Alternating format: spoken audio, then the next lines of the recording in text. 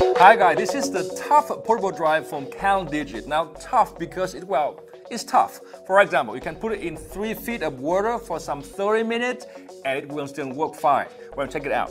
But most importantly, it's really fast. In my testing, this 1 terabyte SSD version here has a sustained real-world copy speed of some 460 megabyte per second, the fastest I've ever seen for a single volume portable drive. In fact, it's so fast that you might just want to toss in the air out of excitement. Oops, I did it. And guess what? It survived. As it turned out, this thing can withstand repeated drops from my height. And I'm quite tall even when sitting, so that's impressive.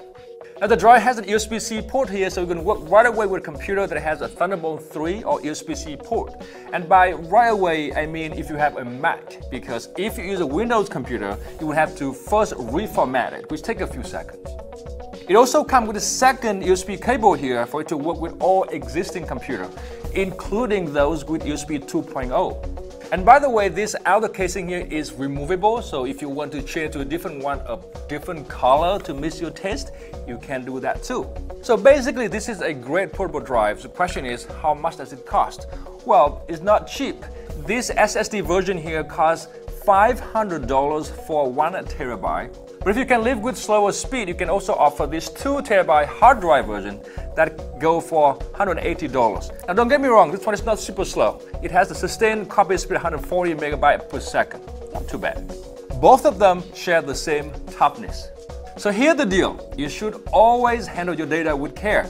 And if you do that, the Tuff drive is kind of overkill for you. But if you cannot do that, like if you work in a rough and dirty environment, or you can afford anger management, like my good friend behind the camera here, this drive is great for you. And I mean it.